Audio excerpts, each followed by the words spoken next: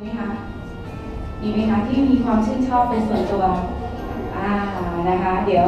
เราเข้ามีไหมคะยกมือได้ค่ะอ่าเอามือลงนะคะของเรานะคะโรงเรียนท่านรองผู้อำนวยการคณะครู และนักเรียนโรงเรียนโนมินทราสุดีพัชชีทุกท่านค่ะ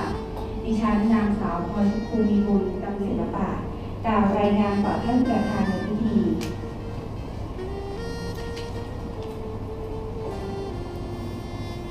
ประธานในพิธีรับฟังคำกล่าวรายงาน และเปิดงานในวันนี้ค่ะ ขอกราบเรียนเชิญด้วยความเคารพค่ะนายสถาพรบุญจิต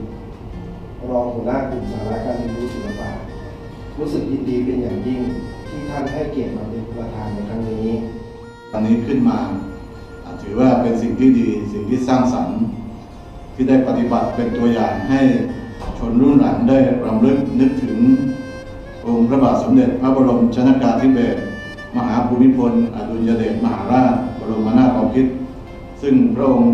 ทรงมีพระมหากรุณาธิคุณต่อพระสงฆ์นิกรชาวไทย อย่างหาที่สุดไม่ได้ ศิลปะเนี่ยเป็นสิ่งที่เติมความเป็นมนุษย์ที่สมบูรณ์ให้กับคนทุกคน เป็นสิ่งที่ศิวิไลที่น่าจะ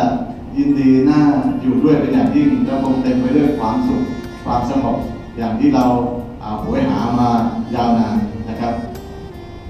มีส่วนร่วมในการเทิดพระเกียรติและเผยแพร่พระอัจฉริยภาพของพระบาทสมเด็จพระบรมชนากาธิเบศรภูมิพลอดุลยเดชมหาราชบรมนาถบพิตรรวมทั้งปลูกฝังความรักชาติ ศาสนาพระมหากษัตริย์ ส่งเสริมความสามัคคี ความคิดสร้างสรรค์ ความมีสุนทรียภาพทางศิลปะ การน้อมนำหลักปรัชญาเศรษฐกิจพอเพียงมาใช้ในการบริหารจัดการ